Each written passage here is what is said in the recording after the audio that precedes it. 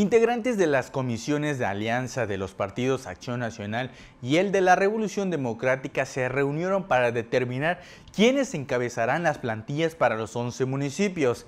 Y es que, como sabemos, en las últimas semanas inició la polémica entre los partidos por la designación del candidato en Benito Juárez. Y es que es la joya de la corona aunque no hay nada definido aún, al menos oficialmente en el PAN, iría para la presidencia municipal de Otón Pompeyo Blanco Fernando Celaya Espinosa, además de encabezar fórmulas en Otón Pompeyo Blanco, Cozumel, Solidaridad, Isla Mujeres y Lázaro Cárdenas. Y por el PRD, el diputado Emilio Ramos Hernández iría por Benito Juárez.